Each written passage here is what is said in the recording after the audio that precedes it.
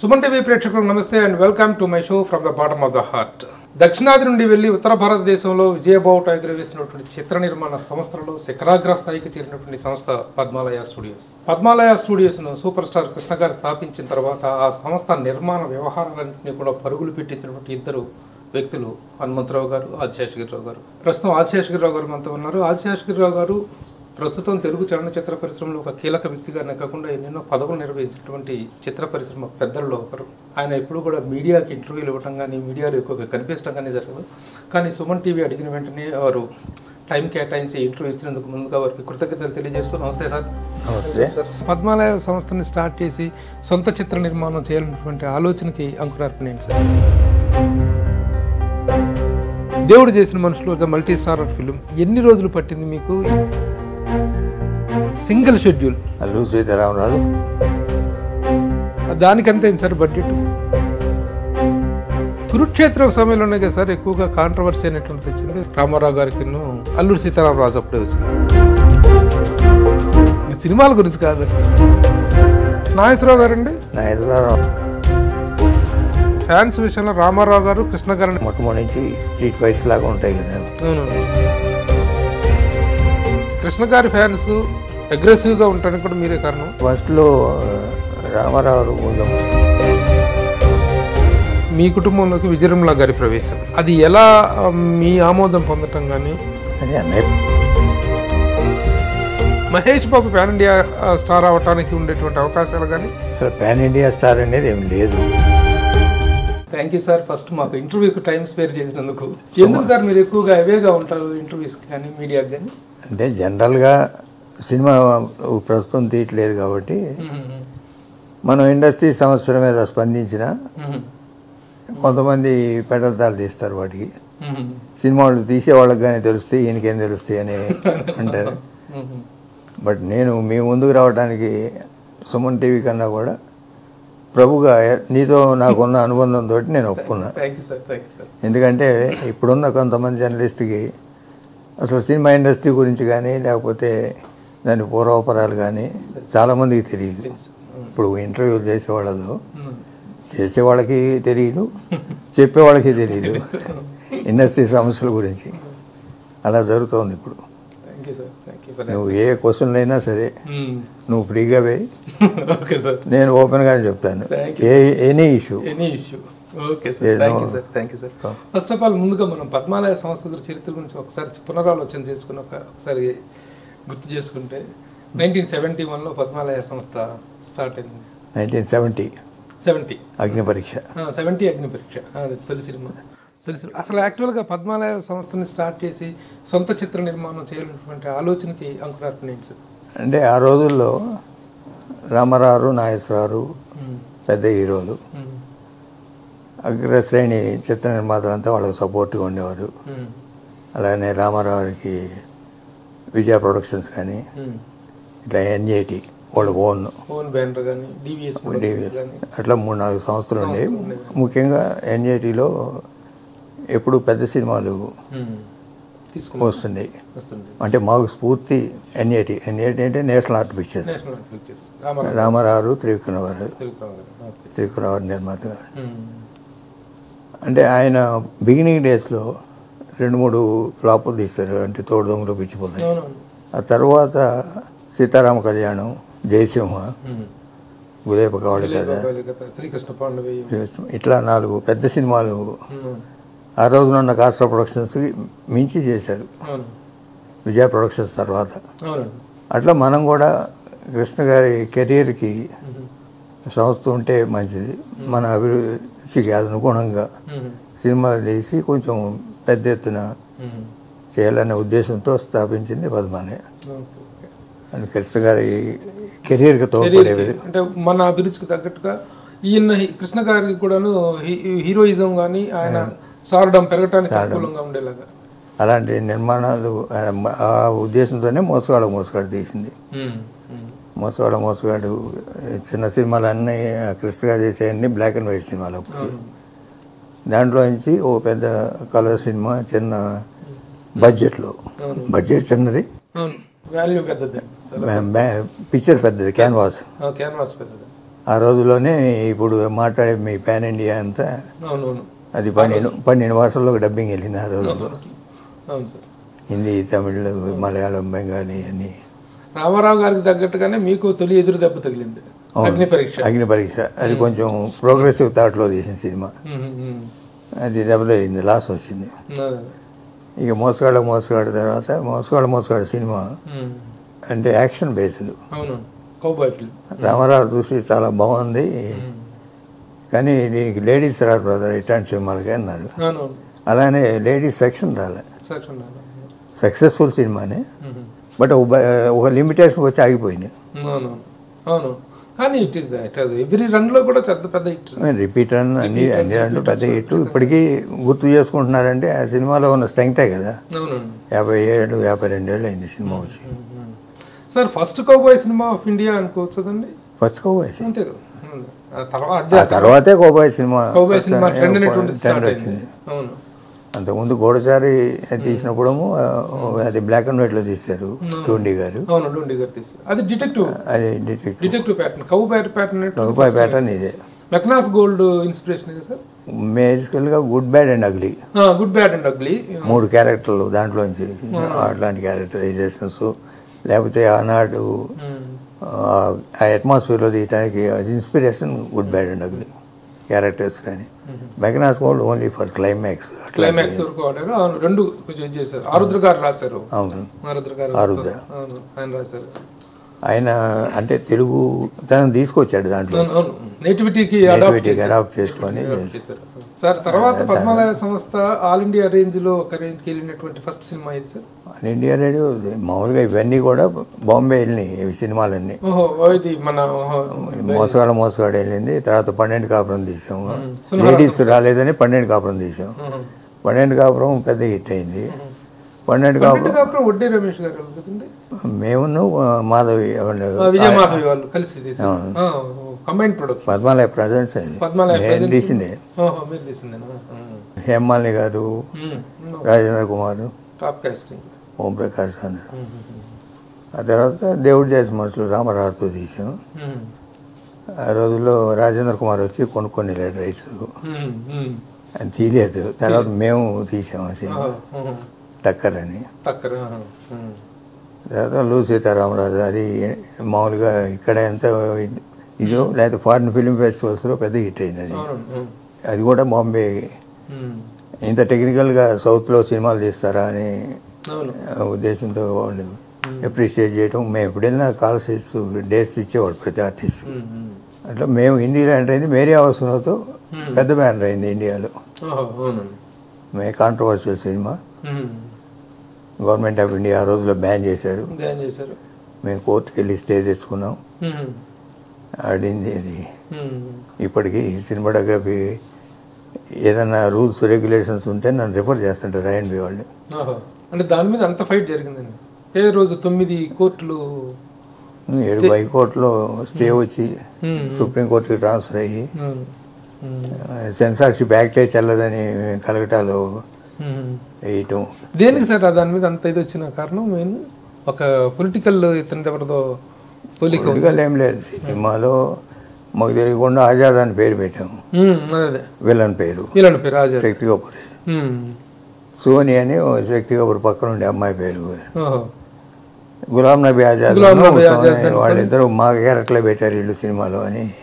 But వాళ్ళ క్యారెక్టర్లకి ఈ సినిమాకి సంబంధం లేదు. సంబంధం లేదు. అవును. కానీ వాళ్ళు అప్పుడు యూత్ కాంగ్రెస్లో ఉండి మా- మార్చలేగా సార్? మార్చలేదుగా మీరు?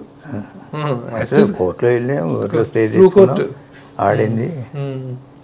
అది చాలా సినిమాలకు ఇన్స్పిరేషన్. తర్వాత సెన్సార్ ఇష్యూస్లో వచ్చినప్పుడు. మీ కేసు. సెన్సార్షిప్లో ఇప్పుడు ఇదివరకు ఉన్న సెన్సార్షిప్ యాక్ట్లో ఒకసారి సెన్సార్ అయిన తర్వాత బ్యాన్ చేసే అధికారం. సెన్సార్ బోర్డుకి లేదు. గవర్నమెంట్ ఆఫ్ ఇండియాకు ఉంది. గవర్నమెంట్ ఆఫ్ ఇండియాకి they can suspend a film section six ప్రకారం. ఆ, వాళ్ళు మళ్ళీ పిక్చర్ తెప్పించుకొని చూసి ఉమ్, అది బ్యాన్ చేయొచ్చు ఎలవ్ చేయొచ్చు లేకపోతే ఫర్దర్ కట్స్ వేయచ్చు. ఆ ప్రొవిజన్ ఉంది యాక్ట్ ఉమ్. దాన్ని ఛాలెంజ్ చేసాం. అప్పుడు రూలింగ్లో ఉన్న government sir? Congress government Indira Gandhi మరి వాళ్ళే వాళ్ళ గవర్నమెంట్ దగ్గర నుంచి వచ్చింది? అవును వాళ్ళ గవర్నమెంట్ నుంచి కోర్టు. కోర్టు వాళ్ళకి వ్యతిరేకంగా ఇచ్చింది వాళ్ళ గవర్నమెంట్ ఇచ్చింది. గ్రేట్ కోర్టుకి గవర్నమెంట్ సంబంధం గవర్నమెంట్ సంబంధం మ్మ్. సెన్సార్షిప్ యాక్ట్ తర్వాత బోర్డు అనేది ఉండకూడదని సెన్సార్ సర్టిఫికేట్స్ అన్ని మార్చిన తర్వాత నేను ఆ withdrawn.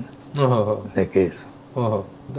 Censor board అంటే కటింగ్ చేయడానికి కాదు సర్టిఫై చేయడానికి if you want to certify adult film certify adult film or UA classification ఇవ్వడానికి అంతేగాని they cannot ban they cannot they can dictate the cuts but they cannot ban ban the film cuts కూడా అప్పటి నుంచి ఏంటి? మేము కోర్టులో ఎవరైనా challenge చేస్తాడేమో మనం వాలంటరీగా కట్స్ ఇచ్చినట్టు మన దగ్గర నుంచి లెటర్ తీసుకొని ఎలవ్ చేస్తున్నారు. అంతేగాని ఈ కట్స్ ఇంపోజ్ చేయమని ఎవరు? ప్రొడ్యూసరే మేము వాలంటరీగా మేమే కట్ చేస్తాం. అని డిస్కషన్లో చేసి చేయటం బెటర్ సార్ పద్మాలయ సంస్థను కానీ ఒక ప్రెస్టీజియస్ సంస్థగా ఎదగటం కానీ ఒక నిబద్ధత కలిగినటువంటి చిత్ర నిర్మాణ విధానాలకి ఒక పెట్టింది పేరుగా కానీ ఎదగటానికి కారణం. దీంట్లో అసలు ఎవరి పాత్ర ఏంటి సార్? సూపర్ స్టార్ కృష్ణ గారి పాత్ర ఏమిటి? హనుమంతరావు గారి పాత్ర ఏమిటి? మీ పాత్ర ఏమిటి? ఎలా మీ డివిజన్ ఆఫ్ వర్క్ ఉండేదండి? అంటే మొట్టమొదటి నుంచి కొంచెం హనుమంతరావు గారికి స్క్రిప్ట్ మ్యూజిక్ ఇంట్రెస్ట్ ఎక్కువ. జనరల్గా ఆయన చూస్తున్నారు బిజినెస్ అడ్మినిస్ట్రేషన్ అంతా నేను చూస్తున్నాను ప్లానింగ్ అని. ఇప్పుడు ఇప్పుడు ప్రొడక్షన్ ఉంటే పది మంది ఇరవై మంది చేస్తారు. ఆ రోజులో మేము చేసేటప్పుడు స్క్రిప్ట్ సెలెక్షన్ కానీ లేకపోతే టెక్నీషియన్ సెలెక్షన్ కానీ ఆర్టిస్ట్ సెలెక్షన్ కానీ లేకపోతే షెడ్యూల్ చేయటం కానీ లేకపోతే ఏ సీన్ ఎక్కడ తీయాలి ఏ సెట్ వేయాలి లేకపోతే అవుట్డోర్ ఎక్కడ తీయాలి ఇవన్నీ ఆఫీస్లోనే జరుగుతాయి. అనుమతిని మొట్టమొదటి ప్లానింగ్ ఉంటుంది బడ్జెట్ ఉంటుంది. తర్వాత ఏ- లొకేషన్లో తీయాలి ఎక్కడ తీయాలి ఏ ఊళ్ళో తీయాలి ఇవన్నీ ప్రొడ్యూ ప్రొడక్షన్ ప్రొడ్యూసర్ జాబే అది. తర్వాత షూటింగ్ అయిన తర్వాత పోస్ట్ ప్రొడక్షన్లో కూడా ప్రతి దాంట్లోనూ మన పాత్ర ఉంటుంది. ఎడిటింగ్లో కానీ ఫైనల్ మిక్సింగ్లో కానీ. అంటే పర్టికులర్గా మీరు చూసే వ్యవహారాలు ప్రొడక్షన్ వ్యవహారాలు. ప్రొడక్షను ఆయన ఎక్కువగా కథను మ్యూజిక్ చూసుకునే వాళ్ళ హనుమంతరావు గారు. కృష్ణ గారు మామూలుగా ఒకసారి కథని ఓకే. ఓకే అంటారు అంతే. తర్వాత కథ నడిపించాల్సినంత మీరు. బట్ ఫినిషింగ్ చూసి సజెస్ట్ చేస్తారు ఈ సీన్లు బాగాలేవు అవసరం అయితే రీషూట్ చేద్దాం. లేకపోతే ఎడిట్ చేద్దాం లేక వస్తుంది. ఇవన్నీ ఆయన ఆయన అంటే టైం ఎక్కువ ఉండదు కదా. ఎక్కువ ఉండదు బిజీగా ఉంటారు. స్టోరీ మటుకు ప్రాజెక్టు ఆయన ఓకే చేసినాకే ముందుకెళ్తాయి. ఇప్పుడు పద్మాలయ సంస్థకి ఈ నిర్మించినటువంటి సినిమాల్లో చాలా ప్రతిష్టాత్మక సినిమాలు అత్యంత భారీ చిత్రాలు. అలాగే తెలుగులో ప్రొడక్షన్ వాల్యూస్ పెంచినటువంటి సంస్థల్లో ముఖ్యంగా చెప్పుకునేది ఫస్ట్ చెప్పుకోవాల్సినటువంటి మీ సంస్థ. అవును. రామారావు గారు వాళ్ళు అంతకుముందు ఒక ప్రెస్టీజియస్ ఫిల్మ్స్ వచ్చినా సరే ప్రొడక్షన్ వాల్యూస్లో ఒక ఇది తీసుకొచ్చినటువంటి ఒక బ్లో వాటిని ఒక బ్లో తీసుకొచ్చినటువంటి సంస్థగా మీది కానీ మీరు తీసినటువంటి సినిమాల వాల్యూమ్తో ఈ రోజు సినిమాలు తీయాలంటే సంవత్సరాలు సంవత్సరాలు తీసుకుంటున్నారు. కానీ మీరు ఒక్కొక్క సినిమాని as per the time is concern as per the amount is money is concern schedule is concern చాలా ఇదిలో చేసేవాళ్ళు చాలా ఫాస్ట్గా చేసేవాళ్ళు. ఒక ఉదాహరణకు ఒక నాలుగు సినిమాలు మాట్లాడుకుందాం సార్. దేవుడు చేసిన మనుషులు ద మల్టీ ఫిలిం ఎన్ని రోజులు పట్టింది మీకు? ఎంత బడ్జెట్ అయింది? ఎంత ఫాస్ట్గా మీరు తీయగలిగారు చెప్పరా? Forty days. Forty days. Single schedule. Single schedule. My god my god Rama Rao garu Krishna garu Vijaya Nirmala గారు జమున గారు ఎస్వి రంగారావు గారు బాబు ఇంతమంది నివాసం పెట్టుకుని ఫార్టీ డేస్ ఈ రోజు నా సినిమా తీయాలంటే నాలుగు వందల రోజులనే సరిపోయింది కదా జనం. ఇప్పుడు అల్లూరు సీతారామరాజు గురించి చెప్పండి sir. Allu Seetharamaraju forty two days forty two days అంత అడవుల్లో అంత సింగిల్ డేస్ సింగిల్ షెడ్యూల్ అది కూడా అది సింగిల్ షెడ్యూల్ అంత మాసివ్ వర్క్ సింగిల్ షెడ్యూల్ ఇట్లా అందులో మొత్తం ఆల్మోస్ట్ ఆల్ పేరుకి డైరెక్టర్ గారి పేరున్నా సరే ఎక్కువ చేసినంత కృష్ణ గారే కదా. షార్ట్ అంతా. ఓన్లీ ఫైట్ షార్ట్స్ మాత్రం దాస్ గారు చేశారంట. ఫైట్స్ దాస్ గారు చేశారు సినిమా అంతా కృష్ణ గారే.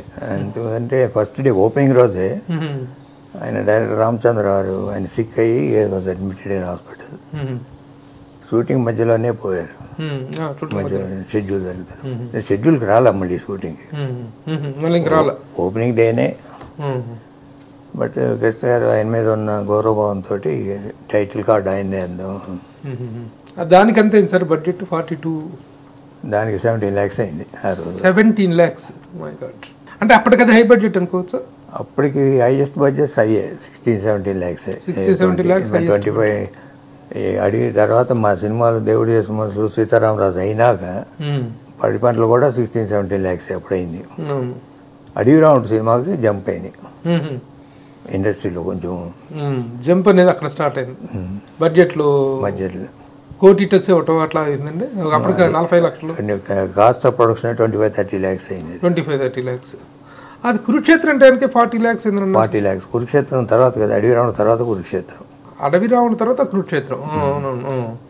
సెవెంటీ సిక్స్ సెవెన్ ఆ ప్రాంతాల్లో ఇది. తర్వాత ఇది వచ్చింది. అవునవును దేవదాస్ టైంకి చాలా పెద్ద ఇది కాస్ట్ ఆఫ్ ప్రొడక్షన్ వచ్చింది కదా సార్? అప్పటికి cost of seventeen eighteen lakhs Devadas అంతేనండి. తర్వాత చీకటి వెలుగులు వీటిలో కొంచెం పెరిగినాయి. బడ్జెట్స్. బడ్జెట్స్ ఏముంది కానీ టెక్నాలజీ కొత్త టెక్నాలజీ తీసుకురావాలని మేము సినిమా స్కోప్ అని తీసుకురావడం. సినిమా ఫస్ట్ డైరెక్షన్ కృష్ణ గారు కార్డు పడుతుంది కాబట్టి సింహాసనానికి సెవెంటీ ఎంఎం సెవెంటీ ఎంఎం అవును. Seventy MM twenty four tracks stereophonic sound system DTS sound hmm. ఇవన్నీ మొట్టమొదటి ఇంట్రడ్యూస్ చేసింది మేమే సినిమా స్కోప్ కానీ ఎన్నెన్నో ప్రతిష్టాత్మక టెక్నికల్ ఎక్సలెన్సీలన్నీ ఇంట్రడ్యూస్ చేసినట్టు మీరు. Seven time stereophonic sound కానీ ఇంకా చాలా ఉన్నాయి సార్ మీరు చేసినటువంటి ప్రొడక్షన్స్లో ద మోస్ట్ ప్రెస్టీజియస్ ప్రొడక్షన్గా మీరు ఫీల్ అయినటువంటిది ఏది సార్ ఆ రోజులో దేవుడు చేసిన మనుషుల కురుక్షేత్రమా? What is that proud film of our banner అంటే ఏం చెప్తారు మీరు? ఫస్ట్ మోసగాడు మోసగాడు తర్వాత అల్లు సీతారామరాజు. ఓకే. ఓకే తర్వాత ఇంకేదైనా. ఏదైనా. కురుక్షేత్రం సమయంలోనే కదా సార్ ఎక్కువగా కాంట్రవర్సీ అనేటువంటిది వచ్చింది. పోటీ తత్వం అనేది ఫస్ట్ స్టార్ట్ అయింది. రామారావు గారికి అల్లూరు సీతారామరాజు అప్పుడే వచ్చింది? అది యాక్చువల్గా ఎగ్జాక్ట్గా వాళ్ళిద్దరి మధ్య చిన్న డ్రిఫ్ట్ అనేటువంటిది స్టార్ట్ అయిన సంవత్సరం ఏది సార్? అల్లూరు సీతారామరాజు నిర్మాణమా కురుక్షేత్రం సమయంలో ఫస్ట్ జయాంధ్ర మూమెంట్కి కృష్ణ గారు సపోర్ట్ చేశారు. దాని మీద చిన్న అభిప్రాయ భేదాలు సినిమాల గురించి కాదు. సినిమా మ్మ్. జయాంధ్ర మూమెంట్కి ఆయన కృష్ణ గారు సపోర్ట్ చేసి. మెడాస్ పార్లో పార్క్లో ఒకరోజు అంగస్ట్రైకి కూర్చొని గవర్నర్కి ఆ రోజున మ్మ్. మెమరాండం. ఇవ్వటం. ఆయన డొనేషన్ ఇవ్వటం. ఇది ఎన్జిఓ స్ట్రైక్ చేశారు కదా. ఒక పిక్చర్ రెమ్యూనరేషన్ ఇచ్చారు అప్పుడు మెడ్రాస్లో చాలామంది ఇచ్చారు రంగారావు గారు ఎస్ రంగారావు గారు గుమ్మడి గారు. ఆరు లక్షల రూపాయలు పోగేశారు ఆ రోజుల్లో. పోగేసి రైస్ కొని. నెల్లూరు నుంచి పంపించారు పంపి శ్రీకాకుళం దాకా ఇటు ఇటు అనంతపురం దాకా. ఈ వెంకయ్య నాయుడు గారు ఉన్నారు వైస్ ప్రెసిడెంట్. ఆయన అప్పుడు ఆంధ్ర డిస్ట్రిబ్యూషన్ ఆయన లారీలో ఆయన స్టూడెంట్ లెటర్కి వచ్చారు. మాదాల జనకరామ్ గారు రాయలసీమ మ్మ్. దానికి ఆయన జయాంధ్ర వ్యతిరేకమా అంటే ఆయన హైదరాబాద్లో స్టూడియో ఇక్కడ ఇవన్నీ. ఎస్టాబ్లిష్ అయ్యారు. నాగేశ్వరరావు నాగేశ్వర- నాగేశ్వరరావు ఇద్దరు ఏకమయ్యారు ఐసీలో అది ఫస్ట్ అభిప్రాయ భేదం. అభిప్రాయ భేదం. అందరూ అనుకున్నట్టుగా సినిమాల్లో అది కాదు. అది ఎంత దూరం పోయింది సార్ అభిప్రాయ భేదం? తర్వాత? హరికృష్ణ గారి పెళ్ళి అని. ఫోన్ చేశారు. అన్నయ్య నమ్ముకొని వెళ్ళారు. మళ్ళీ ఇద్దరు ఉద్యమం కూడా అయిపోయింది. మళ్ళీ సీతారామరాజు సినిమా వద్దని. మ్మ్. సీతారామరావు సినిమా అండర్ ప్రొడక్షన్ ఉండగానే స్టార్ట్ చేస్తున్నారు. అనౌన్స్మెంట్ రాగానే రామారావు గారు వద్దన్నారండి.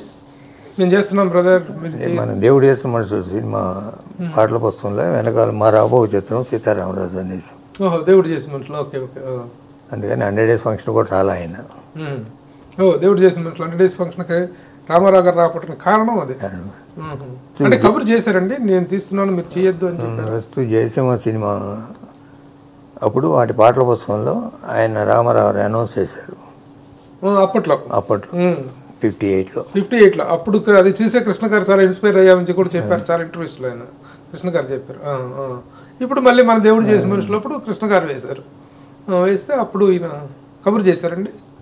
హనుమంతరావు వెళ్ళారు తర్వాత కృష్ణ గారు కూడా మాట్లాడారు. ఆయన తీస్తామంటే మానేస్తామని చెప్పాము దాంట్లో కథ లేదు. అంటే మీరు రాసుకున్న సబ్జెక్ట్లో లేదేమో మేము రాసుకున్న దాంట్లో మాకు నమ్మకం ఉంది అని. యాంగిల్లో ప్రొసీడ్ అయ్యాం. ఇంకా అది అలా సరే మీ ఇష్టం బ్రదర్ అన్నారు తర్వాత ఎప్పుడో మళ్ళీ ఆయన తెద్దాం అనుకుంటే పచ్చూరు గోపాలకృష్ణ గారు. ఒకసారి చూద్దాం అన్నగారు అంటే మీరు ఒకసారి అది చూడండి అంటే చూసిన తర్వాత అవసరం లేదు. కృష్ణ గారు ఇప్పుడు అక్కడ అవాయి స్టూడియోలో ఉంటే ఏం అనే సినిమా చూడొస్తానంటే ఆయనే దగ్గరుండి చూపించారు ఉమ్. చాలా బ్రహ్మాండంగా తీశారని కౌలు ఇచ్చుకొని కంగ్రాచులేట్ చేస్తుంది. ఉమ్. అయ్యే చిన్న చిన్న మాస్పాదులు ఎప్పుడైనా రామారావు కానీ కృష్ణ గారు కానీ. కోపం వస్తే మూమెంట్. ఒక ఐదు నిమిషాలు ఉంటుంది అంతే. సాయంకాలం ఉండదు మళ్ళీ నెక్స్ట్ డే ఆ, అంటే మళ్ళీ కురుక్షేత్రం టైంలో కూడా మళ్ళీ ఇలాంటి ఒక రిఫ్ట్ ఏర్పడింది. దానికి కారణాలు దాని పూర్వపరాలు ఏంటి సార్? అంటే కురుక్షేత్రం మేము స్టార్ట్ చేసింది కాదు ఏసర్ ఆంజల్ గారని ఆయన. ఆయన స్టార్ట్ చేశారు. ఆయన కొంచెం మనం సపోర్టివ్గా ఉందాంలే అని పార్ట్నర్గా జాయిన్ అయ్యాం. ఆయన. ఆర్థికంగా సిక్ అయిపోయారు. అప్పుడు ఇక తప్పనిసరి పరిస్థితుల్లో ఇన్వాల్వ్ అవ్వాల్సి వచ్చిందండి అప్పటికి ఈయన పోటీగా చేస్తారన్న విషయం దాని మీద చురకన పొట్టిగా ఉంది. అది పౌరాణికం పౌరాణికాలు అన్ని కథలు ఒకటిగానే ఉంటాయి. కదా కానీ మీరు స్టార్ట్ చేసినప్పుడు ఆ ఉద్దేశాలు లేకపోయినప్పటికీ సినిమా రిలీజ్ టైంకి రెండు ఒకే రోజు రిలీజ్ సంక్రాంతికి రావాలనుకో ఒకే రోజు రిలీజ్ సంక్రాంతి అంటే ఒకే రోజు రిలీజ్ పెద్ద సినిమాలు వచ్చినాయి అంతేగాని పోటా పోటీగా తీసినాయి కదా అది వేరే కథ ఇది వేరే కథ. కాకపోతే ఆయన మామూలు దుర్యోధనుడిగా బ్రహ్మాండంగా యాక్ట్ చేశారు. అంటే రామారావు గారు సార్ కృష్ణ గారు నేను చేసిన ఇంటర్వ్యూలో కృష్ణ గారు కూడా చెప్పారు. ఏం బ్రదర్ నేను మూడు పాత్రలు పెట్టి నేను చేస్తున్నాను మీరు ఇలా ఇలా చేయటం అనేటువంటిది భావ్యం కాదు అని చెప్పేసి కృష్ణ గారు కృష్ణ గారు చెప్పారు స్వయంగా నాకు. భావ్యం కాదు మీరు ఇదంటే మీరు నాది- కాదంటే నాకు సంబంధం లేదు ఐఎస్ఆర్ ఆంజనేయులు గారిది. విత్డ్రా అవ్వమంటే అప్పటికి అతను పన్నెండు పదిహేను లక్షలు పెట్టుకుని నేను విత్డ్రా అవ్వాలని అంటున్నానండి అని కృష్ణ గారు చెప్పినట్టుగా. మాట్లాడుకుంటూనే ఉంటారు అది. మాట్లాడుకోకపోయే విరోధాలు ఏం లేవు ఇప్పుడు. విరోధాలు కానీ ఇది పోటా అభిప్రాయ భేదాలు ఉంటాయి ఇండస్ట్రీ మామూలు పోటా పోటీలు ఎప్పుడు ఉంటాయి. మీ పా మీరు ఎలా ఫీల్ అయ్యేవారు అప్పట్లో ఈ వీటి విషయంలో? ఏది? రామారావు గారికి వ్యతిరేకంగా అవి చేయటం అనేటువంటిది కానీ రామారావుకి వ్యతిరేకమనే ఉంది. మన మన ప్రోడక్ట్స్. మన ఇది మనం చేసుకుంటున్నాం. మన దాని మీద మనం ఎంత కాన్సన్ట్రేట్ చేసేస్తాం. దేవదాసు సినిమా రిలీజ్ అప్పుడు కూడాను కృష్ణ గారు రామారావు గారు ఏకమయ్యి దీనికి పోటీగా ఆ పాత దేవదాసుని రిలీజ్ చేసేటువంటి కార్యక్రమం జరిగింది అనేటువంటి దాంట్లో ఉన్నటువంటి నిజా నిజాలు ఏంటి సార్? రామారావుకి ఏం సంబంధం. రామారావు గారికి ఏం సంబంధం. నాగేశ్వరరావు గారే. రిలీజ్ చేశారు. ఆ రోజున అన్నపూర్ణ స్టూడియో పుట్టడానికి కూడా కారణం అదే అంటారు నిజమేనండి? అంటే అన్నపూర్ణ స్టూడియో పుడతానికి దానికి సంబంధం ఉంది అన్నపూర్ణ స్టూడియో సారథి స్టూడియోలో ఏదో ఆయనకి అభిప్రాయ భేదాలు సారథి స్టూడియో వాళ్ళకి అభిప్రాయ భేదాలు వచ్చింది. దేవదాస్ని నవయుగా వాళ్ళు తీసుకుంటే నవయుగా వాళ్ళకి against గా మీరు మీరు రిలీజ్ చేయొద్దని చెప్పి. ఇది మీ దృష్టికి రాని విషయమేమో. నాగేశ్వరరావు గారు నాకు ఒక ఇంటర్వ్యూలో చెప్పినటువంటి విషయం స్వయంగా ఆయన చెప్పారు. దేవదాసు నేను రిలీజ్ చేసుకుంటుంటే మీరు చేయొద్దని చెప్పి నవయ్య కావాలి నన్ను రిక్వెస్ట్ చేశారు. చేస్తే నేను అదేంటి నా సినిమా రిలీజ్ చేసుకుంటే ఎలా ఉంటారని చెప్పేసి నేను రిలీజ్ చేశాను. అప్పుడు ఆ దేవదాస్ దెబ్బతిన్నది నా దేవదాసు మళ్ళీ సెకండ్ రిపీట్ రన్లో కూడా హండ్రెడ్ డేస్ ఆడింది. అప్పుడు నవేగా వాళ్ళకు విపరీతమైన నష్టాలు వచ్చినాయి. అప్పుడు వాళ్ళు వాళ్ళు board పెట్టారంటండి. No entry to Akkineni Nageswara Rao in Sarathi studios అని. అప్పుడు ఏం చేయాలో అర్థం కాక ఫస్ట్ సినిమా మహాకవి క్షేత్ర అమెరికా నుంచి వచ్చిన తర్వాత మహాకవి క్షేత్ర ఏమో కర్ణాటక వెళ్ళిపోయి అక్కడ బెంగళూరులో కంటిన్యూస్ స్టూడియోలో షూట్ చేసుకున్నాను. తర్వాత స్క్రిప్ట్కి నెక్స్ట్ సినిమా చేయడానికి నాకు స్టూడియో లేదు. మళ్ళీ మద్రాసు వెళ్ళని శబ్దం చేసి వచ్చాను. కాబట్టి నాకు ఇక వేరే దారి లేని సమయంలో వెంగళరావు గారు స్టూడియోకి స్థలాలు ఇవ్వటం ఇదంతా జరిగింది. అప్పుడు నేను స్టూడియో కట్టడానికి కారణమైందని చెప్పేసి ఆ ఎపిసోడ్ మొత్తం చెప్పారు నాగేశ్వరరావు గారు. మీకు తెలియదేమో ఇది అన్న- అన్నపూర్ణ స్టూడియో పుట్టడానికి ఉన్నటువంటి నేపథ్యం.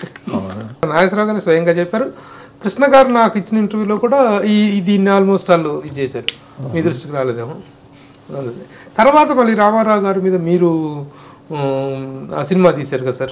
అది రాజకీయం. అదే పొలిటికల్గా పొలిటికల్ మనం కాంగ్రెస్లో ఐడెంటిఫై అయిన తర్వాత. అవును కాంగ్రెస్లో ఐడెంటిఫై అయ్యారు కృష్ణ గారు. అయిన తర్వాత తర్వాతే ఆ సినిమా పేరు ఏదో ఉన్నట్లు ఆడుతుంది. మండలాది ఆ, మండలాధీశుడు. మండలాధీశుడు తీశారు. ఆ దాని టైంలో మరి ఆ రిఫ్ట్ ఎక్కువ కాలేదా సార్? అది పొలిటికల్ పొలిటికల్ అంటే మీరు తీశారు కదా ఆయనకి వ్యతిరేకంగా తీశారు కదా. తీసాము మేము కాంగ్రెస్ పార్టీలో ఉన్నాం ఆయన తెలుగుదేశంలో ఉన్నారు. తెలుగుదేశంలో ఉన్నప్పుడు రాజకీయంగా ఏ విధమైన ఆటుపోట్లు ఉంటాయి అవన్నీ ఉంటాయి. స్పీచెస్లో ఉంటాయి. విమర్శనలో ఉంటాయి. ఆయన వైపు నుంచి వచ్చిన రియాక్షన్ ఏంటి దానికి? రామారావు గారి వైపు నుంచి? ఆ సినిమా వచ్చినప్పుడు? ఏమున్నాయి? సెన్సార్ అయిన సినిమాలు మనం చేయగలిగేది ఉంది అంటే ఊరికే కాకతాళీయంగా మేము సింహాసనం సినిమాలో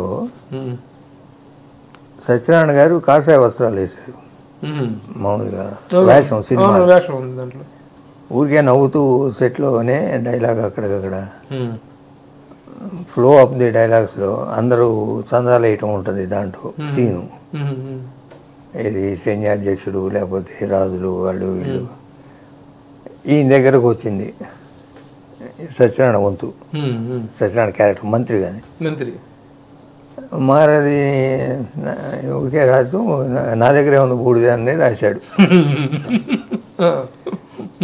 సత్యనారాయణ ముందు చెప్తా అన్నాడు తర్వాత నేను చెప్పను అని రామారావు మాట్లాడినట్టుంది అప్పుడు రామారావు అప్పుడే స్టేట్మెంట్ జనాలకు ఇవ్వటానికి నా దగ్గరే ఉంది పేపర్లో హెడ్డింగ్ పెట్టాను అది. ఆ రోజు వచ్చింది. హెడ్లైన్ వచ్చింది. హెడ్లైన్ వచ్చింది. ఆ రోజు వస్తే ఈయన నేను చెప్పను. అన్నాడు. తర్వాత ఎందుకు చెప్పు నేను ఆర్టిస్టులు పెట్టి తిత్తి ఇస్తానని అన్నయ్య అన్నారు. ఊరికే జోక్గానే. నేను డైరెక్ట్గా చెప్తాను రైటర్ రాసింది చెప్పాల్సిందే నువ్వు అని ముందు ఊరికే చెప్పేశాడు. చెప్పేసి స్టైల్ కూడా రామారావు చెప్పినట్టే ఇట్లా చేతులు ఊపేసి. అంటే రామారావు అప్పుడే పెద్ద మ్యాండేట్తో వచ్చారు. అవునవును. ఎయిటీ ఫోర్లో అవునవును. మామూలు అయితే సార్? ఫస్ట్ టైం అయిపోయి రెండోసారి చేసినప్పుడు? రెండో తారీఖు చేసి రెండో నాగర్ల భాస్కర్ రావు గారు ఎపిసోడ్ అప్పుడు ఎపిసోడ్ అయిన తర్వాత ఎలక్షన్ అయిన తర్వాత వచ్చి వచ్చింది నెక్స్ట్ టైం ఎలక్షన్ వచ్చినప్పుడు పెద్ద మ్యాండేట్ పెద్ద వచ్చింది మ్యాండేట్ వచ్చింది. ఫస్ట్ టైం కంటే ఎక్కువ మ్యాండేట్ దానికంటే ఎక్కువ వచ్చింది. సరే పెట్టాము సినిమా రిలీజ్ అయింది. రిలీజ్ అయిన తర్వాత అసలు తండ్రి రెస్పాన్స్ వచ్చింది. ఆ డైలాగ్కి ఆ డైలాగ్ ఎందుకు వచ్చింది? ఈయన మీద ఏమన్నా నెగిటివ్ స్టార్ట్ అయిందా? అంతకుముందు ముప్పై మంది మంత్రులను ఒకసారి తీసేసి. ఇట్లాంటి ఏది పడితే చేయటం. అంటే నెగిటివ్ స్టార్ట్ అయింది అనేది ఒక హింట్ ఇంటూ లేకపోతే హూట్ చేయాలి. అవునవును. ఆ డైలాగ్ని అవును. ఆ మ్యాండేట్లో ఉన్నప్పుడు హూట్ చేయాలి. హూట్ చేయకపోగా ఎంజాయ్ చేసి ఎంజాయ్ చేస్తున్నారు. అంటే దానికి దాని తర్వాత నా పిల్లి ప్రపంచం అనే ఒక సినిమా. ఆయన మీద మూడు నాలుగు సినిమాలు మండల తీసుడు సాహసమైన ఊపిరండి ఇవన్నీ ఆయన బ్యాక్ డ్రాప్లో తీసినాయి. ఆయన్ని ఇది చేస్తున్నాయి. అంటే కాంగ్రెస్లో మీరు చేరిన కారణంగా political it only political angle అంతే పొలిటికల్ ఆ రోజుల్లో రాజీవ్ గాంధీ ఫ్రెండ్స్ లాగానే ఉండేవాళ్ళు ప్రతిదానికి. ఎంకరేజ్ చేసేవాళ్ళు. ఢిల్లీ ఎప్పుడు వెళ్ళినా వాకింగ్ ఇంటర్వ్యూ ఆయనకు కానీ నాకు కానీ మీరేమన్నా వ్యతిరేకించాలి మనకి ఎందుకన్నాయా ఇట్లా ఇవన్నీ అని చెప్పేసి మీ ఇద్దరు బ్రదర్స్ హనుమంతరావు గారు ఇవన్నీ? ఎందుకంటే ఇప్పుడు కృష్ణ గారు అంటే ఒక డాషింగ్ డేరింగ్ నేచర్ ఆయన. ఆయన దేన్ని ఇచ్చేసారంటే వాళ్ళకి. కానీ మీరు బ్రదర్స్ ఇద్దరు అన్ని విషయాల్ని కొంచెం కళ్యాణం వేసేటువంటి వ్యక్తులు మీరు. మీ అభిప్రాయం ఎలా ఉండేది? మేము ఎప్పుడైనా సలహా ఇస్తాం కానీ. వన్స్ ఆయన డెసిషన్ తీసుకున్నాక సపోర్ట్ చేసి ముందుకు వెళ్ళటమే మ్మ్. ఏ ఇష్యూ అయినా. మీరు సూచన ప్రాయంగానే చెప్పుంటారు ఎందుకు మనకని చెప్పారా? దీంట్లో కూడా ఓకే. ఆయన వన్స్ జాయిన్ అయిన తర్వాత మనం చేయాలి కదా. మ్మ్, అదే అదే. మ్మ్. జాయిన్ అవ్వటం అవ్వకపోవటం అనేది అది. Personal decision. ఆయన ఏదో ఇందిరాగాంధీ చచ్చిపోయినప్పుడు పలకరించడానికి వెళ్ళారు ఢిల్లీ. అక్కడక్కడ ఆయన అడిగారు ఈయన జాయిన్ అవుతున్నా అన్నారు జాయిన్ అయిపోయారు. అంతే. పెద్ద ప్రోగ్రామ్ పెట్టుకొని చేసుకుంది కాదు. ఇందిరాగాంధీ అంటే ఒక మంచి అభిప్రాయం. ఆవిడ మీద బుర్రకథ చేశారు. ఆ రీజన్ తోనే పొలిటికల్గా పొలిటికల్గా కృష్ణ గారికి పెద్ద ఎజెండాలు ఏమి లేవు. ఇప్పుడు మొదటి నుంచి కూడా. ఓకే కేవలం రాజీవ్ గాంధీతో ఉన్నటువంటి వ్యక్తిగతమైన అభిమానం కంటెస్ట్ చేయడం కూడా ఆయన ఫోన్ చేసి ఈయన ఎక్కడో షూటింగ్లో ఉంటే. ఆ రోజుల్లో లైట్నింగ్ కాల్స్ ఈ మొబైల్ ఉండే కావు. లైట్నింగ్ కాల్స్లో ఏదో లైట్నింగ్ కాల్స్ ఏంటి మనకేంటి అని సత్య స్టూడియోలో షూటింగ్ ఉంది. ఇస్తా ఎవరు యూ అని ఆయన అడిగి ఎవరు కంటెస్ట్ అన్నాడు. ఫోన్లోనే ఓకే. ఓకే చేశారు అవును అప్పుడు ఫస్ట్ టైం నుంచి చేయటం. సెకండ్ టైం డిఫీట్ అయ్యారు. ఫస్ట్ టైం గెలిచారు మంచి తోటి గెలిచారు. తర్వాత రాజకీయ ప్రస్థానం అనేటువంటిది ఓడిపోయిన తర్వాత ఇక్కడ డ్రాప్ అయిపోవటం అండి. రాజీవ్ గాంధీ చచ్చిపోయినాక ఆయనకు పొలిటికల్ ఇంట్రెస్ట్ రాజీవ్ గాంధీ గారి కళ మనసు కలిసి వేసింది ఆయన. ఆయన చచ్చిపోయినాక is no political interest political ఆ రోజు నుంచి ఎక్కడ ఏమి ఐడెంటిఫై అవ్వలేదు ఇప్పుడు ఇప్పుడు రామారావు గారితో ఇక తర్వాత మళ్ళీ ఒకసారి మళ్ళీ వాళ్ళిద్దరు కలిసిన సందర్భం ఉంటుంది సార్ స్టూడియోలో సినిమా ఓపెనింగ్కి. స్టూడియో ఓపెనింగ్ ఆయనగా చేశారు. ఆయన సీఎం అయిన తర్వాతే. సీఎం అయిన తర్వాత. పద్మాలయ స్టూడియో ఓపెనింగ్ ఆయన చేతుల జరిగింది. అంటే రాజకీయ పార్టీ పెట్టేటప్పుడు వైఆర్ భవన్లో మన భర్తలు షూటింగ్ ఊటీలో ఉన్నారు. ఆయన ఇట్లా పార్టీ పెడుతున్నాను బ్రదర్ మీరు ఉమ్, సపోర్ట్ చేయాలన్నారు. ఉమ్. నేను అప్పుడు పన్నెండు సినిమాలు షూటింగ్లో ఉన్నాయి. ఉమ్, నేను చేయలేను నేను ఐఎమ్ విత్ యూ.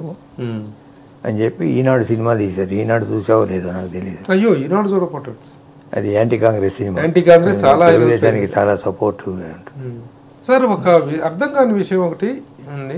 రామారావు గారు నేను పార్టీ పెడుతున్నాను బ్రదర్ మీరు రావాలి అని చెప్పి దాసనారాయణరావు గారితో అన్నారని కృష్ణ గారితో అన్నారని అఖిలనాథరావు గారితో అన్నారని ఇంకా చాలా మందితో అన్నారని ఒక వాదన ఒకటి వినిపిస్తూ ఉంటుంది. ఆయన మేము ఎవరిని పిలవలేదు మాకెవరు వద్దు. ఇప్పుడు తర్వాత కొంతమంది మురళీమోహన్ గారు మోహన్ బాబు గారు వీళ్ళందరూ మేము వస్తాం మేము వస్తుంటే మీరు ఎవరు వద్దు బ్రదర్ మీరు కెరీర్ పాటు చేసుకొని రావద్దు బ్రదర్ అని చెప్పినటువంటి సందర్భం ఉందని అంటున్నారు. నిజంగా యాక్చువల్గా రామారావు గారు రావాలని అడిగారా? ఎవరినైనా? కృష్ణ గారిని అడిగారు అనేటువంటిది మీరు చెప్తున్నారు. కృష్ణ గారితో మాట్లాడిన రోజు నేను అక్కడే ఉన్నాను.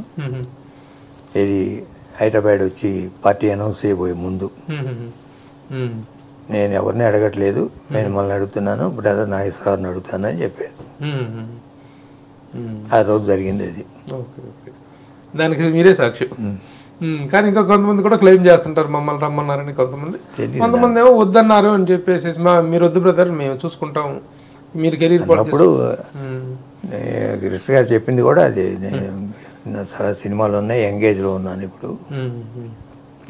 ఇది ఒకటి రాలేను అన్నట్టు తర్వాత రాజకీయంగా విభేదించడం అనేటువంటిది కేవలం కాంగ్రెస్తో పాలసీ పరంగా విభేదించారా? లేకపోతే ఈయన పరిపాలన మీద అడ్మినిస్ట్రేషన్ మీద విముఖతతో విభేదించారా?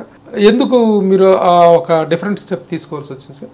అంటే పాలసీ పరంగానే వివేదించింది ఒకసారి నాదెల భాస్కరరావుని సీఎం అయినప్పుడు ఆయన దించేసి ఆయన పేరు మీద ఒక నాదెల భాస్కరరావుని కంగ్రాచులేట్ చేస్తున్నట్టు ఇక్కడ ఒక పేపర్ అడ్వర్టైజ్మెంట్ వేశారు. కృష్ణ గారు? ఆయన పేరు మీద వేశారు. మీద? కృష్ణ గారి పేరు మీదే. కృష్ణ గారి పేరు మీద ఒక అడ్వర్టైజ్మెంట్ చేస్తూ. దానికి రామారావు కోపం పెట్టుకున్నారు.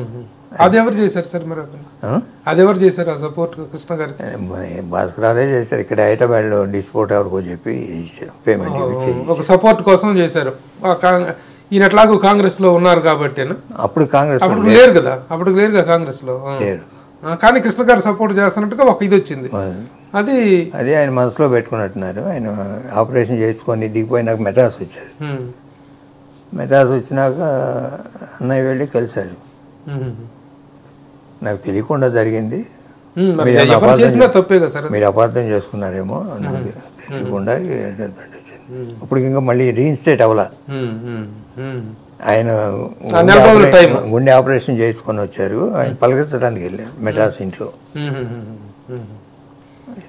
అప్పట్లో నిజంగా జరిగినటువంటి ఒక ప్రజాస్వామిక దారుణమైనటువంటి ఉద- ఉదంతం అది.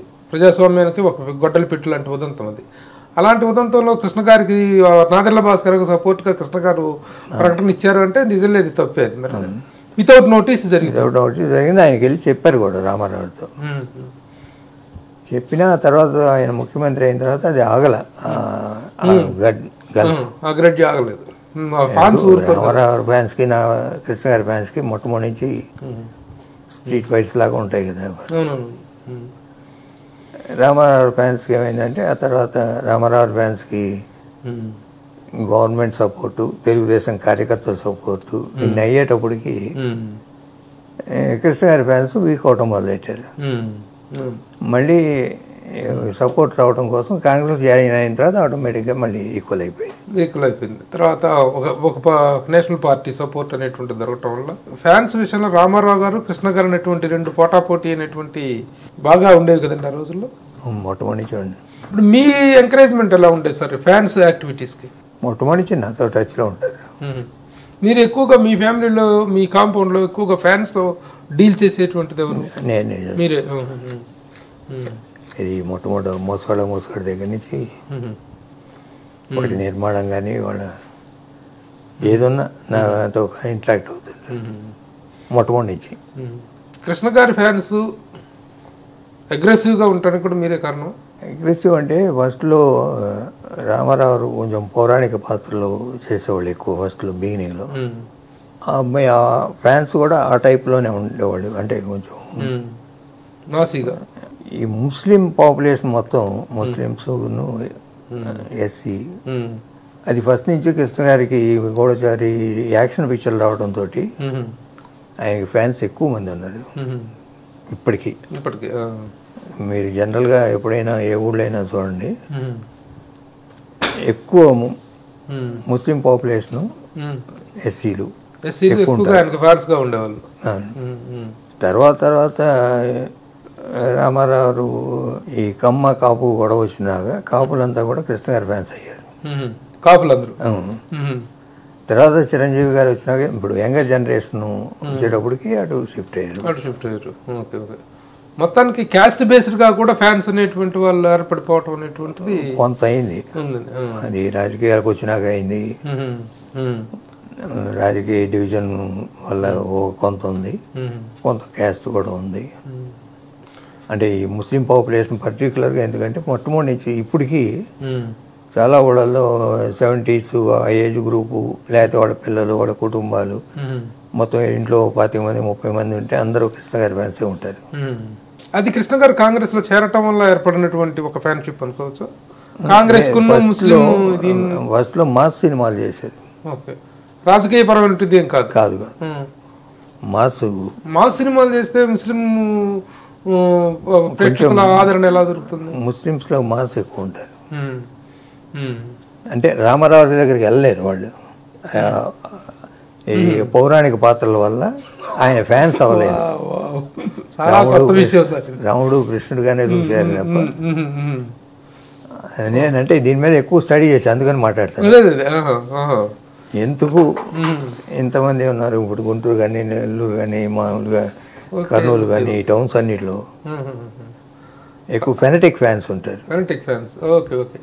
అంటే వీళ్ళు ఆ విధంగా కూడాను ఈయన పౌరాణిక పాత్రల ద్వారా వీటి దైవత్వం అనేటువంటిది హిందూ మైథాలజీ అనేటువంటి దానికి దగ్గర అవటం వల్ల కృష్ణ గారు ఏమో మాస్ క్యారెక్టర్స్ మాస్ వీటితోటి ఫ్యామిలీ సబ్జెక్ట్స్ తోటి దగ్గర అవటం వల్ల ఈ వర్గం దగ్గర అయింది అంటారు మీరు వండర్ఫుల్ అనాలిసిస్ సార్ ఇది. ఎవరు. నువ్వు ఎక్కడైనా కావాలంటే కర్నూలు నంద్యాల ఈ టౌన్స్ అన్నిట్లో వెళ్ళు కడప నెల్లూరు ఏదైనా. అన్నిట్లో ముస్లిం పాపులేటెడ్ ఇవి ఉంటాయి కదా. అక్కడికి వెళ్ళి చూడు. కరెక్టే. జనరల్గా ఊళ్ళో వెళ్తుంటావు కదా. అవునవును అవును అవును. ఆ రోజుల్లో అందులో కృష్ణ గారి సినిమాలు కూడా రెస్ట్లెస్గా నెలకి నాలుగు సినిమాలు నాలుగు వారాలు అంటే నాలుగు సినిమాలు రిలీజ్ అయిన సందర్భాలు ఉన్నాయి. నెలకి పది ఇరవై పదిహేడు సినిమాలు రిలీజ్ అయిన సంవత్సరానికి పదిహేడు పద్దెనిమిది సినిమాలు రిలీజ్ అయిన సందర్భాలు ఉన్నాయి. ఉన్నాయి. అది ఎటు చూసినా కృష్ణ గారి పోస్టులు కనిపిస్తుండేవి ఆ రోజుల్లో. ఒకే రోజు రెండు సినిమాలు రిలీజ్ అయినవి కూడా ఉన్నాయి. ఉన్నాయి.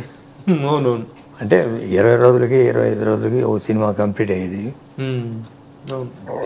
అందువల్ల number of pictures first Gudachari అవగానే ఒక ట్వంటీ పిక్చర్స్ ఒప్పేసుకున్నారు. వేసుకున్నాం మీద పడిపోయారు అసలు అసలు అట్లా. మామూలుగా కాదు. అవి పెద్ద పెద్ద బ్యానర్లు. పెద్ద పెద్ద బ్యానర్లు పెద్ద పెద్ద అవును. నిర్మాతలు దర్శకులు. ఉం. ఇక వెనక్కి తిరిగి చూసుకునే ఇది లేకుండా పోయింది. తన తాను చెక్ చేసుకునే అవకాశం కూడా లేనంత పరిస్థితి. మీరు ఇదే టైంలో మీరు ఎప్పుడు ఎంటర్ అయ్యారు సార్? ఫస్ట్ హనుమంతరావు గారు వచ్చారు? నేనే. ఫస్ట్ మీరే వచ్చారా? ఆహా. నేను మెడ్రాస్లో చదువుకున్నాను ఓహో. హనుమంతరావు ఉద్యోగం చేసేవారు ఆయన ఇంజనీర్ మెకానికల్ ఇంజనీర్. నేను ఫస్ట్ సిక్స్టీ సిక్స్లో వెళ్ళా మెడ్రాస్ సెవెన్ సిక్స్టీ సెవెన్ అక్కడ ఎడ్యుకేషన్. ఏం చదివారు సార్ అక్కడ? డిగ్రీ. డిగ్రీ బీఎస్సీ చదివాను. బీఎస్సీ చదివి అదే టైంలో? బీఎస్సీ చదివి బీఎస్సీ ట్రైనింగ్లో ప్రొడ్యూసర్ అయ్యాను. ఫస్ట్ నేను కృష్ణరాజు చంద్రమోహన్ ఒక రూమ్లో ఉండేవాడు. అప్పుడు అప్పుడే వాడు. హీరోలు అయ్యారు. నేను కాలేజీకి వెళ్ళేవాడిని. అన్నయ్య బాబుమూసి గెస్ట్ హౌస్లో ఉండేవారు. తర్వాత ఫ్లాట్ తీసుకొని అన్నయ్య నేను కలిసి ఉండేవాడు. Okay okay okay. Wonderful journey. అంటే అగ్ని పరీక్షతో మీరు ఫస్ట్ రావటం రావటం అగ్ని పరీక్ష నిర్మాణ వ్యవహారాలను మీరే చూశారు ఫస్ట్ సినిమా. అగ్ని పరీక్ష మోసగాడు మోసం మోసగాళ్ళకు మోసగాడు అక్కడి నుంచి కంటిన్యూ అయ్యారు మీరు. Okay okay okay. ఆ ఫస్ట్ సినిమా దెబ్బతిన్నప్పుడు మీ ఫస్ట్ ఫీలింగ్స్ ఏంటి సార్ యాజ్ ఎ ప్రొడ్యూసర్గా మీరు చే ప్రొడక్షన్ చేయడానికి మీరు ఎంకరేజ్ చేశారా? నే ప్రొడక్షన్ అంటే ఆ నేర్చుకున్నాను. అగ్ని పరీక్ష అగ్ని పరీక్ష అగ్ని పరీక్ష మోసగాడు మోసగాడు ఫుల్గా తెలుసు. అగ్ని పరీక్షలో షెడ్యూల్ ఎయిట్ ఏంటి బడ్జెట్ ఎయిట్ ఏంటి వరప్రసాదరావు ఆయన ఉండేవాడు డైరెక్టర్. ఆయన దగ్గర మామూలుగా డిగ్రీ అయిన తర్వాత నేర్చుకున్నాను ప్రొడక్షన్ కానీ. మొత్తం డబ్బులు ఉన్నంత పోయినాయి. అంతే సెవెంటీ వన్ పెద్ద కాదు. అన్నీ అప్పుడంతా ఐదు వేలు పదివేలు పదివేలు రెమ్యునరేషన్ కదా. ఉమ్. మోసగాడు మోసగాడు తర్వాతే పాతిక వేలు. పాతిక వేలు రెమ్యునరేషన్ అప్పటికి మోసగాళ్ళు మోసగాళ్ళు చేస్తుంటే ఈయనకి బయట సినిమాల వాళ్ళు ఇచ్చేది పాతిక వేలు కృష్ణ గారికి. అప్పుడు తీయటానికి డబ్బులు లేవు. మోసగాళ్ళు మోసగాళ్ళు తీయటానికి. అప్పుడు మామూలుగా ఫైనాన్స్ తీసుకొని చేశారండి? ఫైనాన్స్ తీసుకొని. అది ముందు బ్లాక్ అండ్ వైట్ కలర్ వద్దన్నారు శ్రీ ఫిలిమ్స్ వాళ్ళు నవి. వద్దంటే బ్లాక్ అండ్ వైట్ సినిమా ఎంత ఇస్తారు అంతే ఇవ్వండి. తీస్తానని తీసాను ఇప్పుడు పద్మాలయ సంస్థ కానీ కృష్ణ గారు కానీ మీ కాంపౌండ్ మొత్తం ఆర్థికంగా స్థిరపడింది అనుకుంటే మోసగాళ్ళు మోసగాడు సక్సెస్ వల్లేనండి? మోసగాడు మోసక్స్ సక్సెస్. బ్యానర్ పునాది అది. బాగానే ఉన్నది అంటే పేరైతే రావటం ఆర్థికంగా కూడా అది కూడా.